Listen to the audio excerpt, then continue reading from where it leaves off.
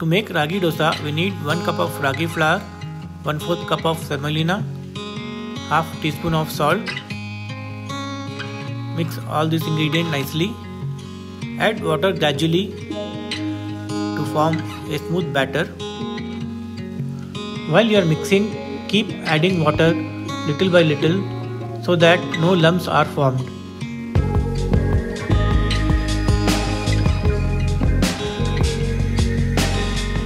Make the dosa tasty and delicious, we'll add few chopped onions, chopped green chilies, can use black pepper powder also and 1 teaspoon of crushed jeera.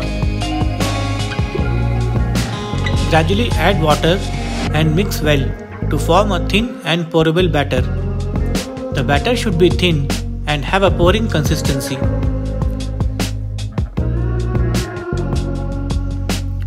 Heat a cast iron tawa and then pour the batter beginning from the edges across the pan. Do not pour the batter in one place. If your batter is very thin, you will get a paper-like thin dosa and it will be crispy also. Once done with pouring the batter, reduce the flame to low. Pour 1 teaspoon of ghee or oil around the edges and on top. Flip it and cook the other side also. That's it. Our crispy ragi dosa is ready.